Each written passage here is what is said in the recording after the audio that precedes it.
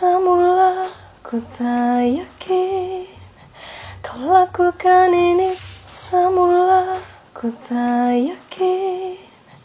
Kau lakukan ini Semula ku tak yakin.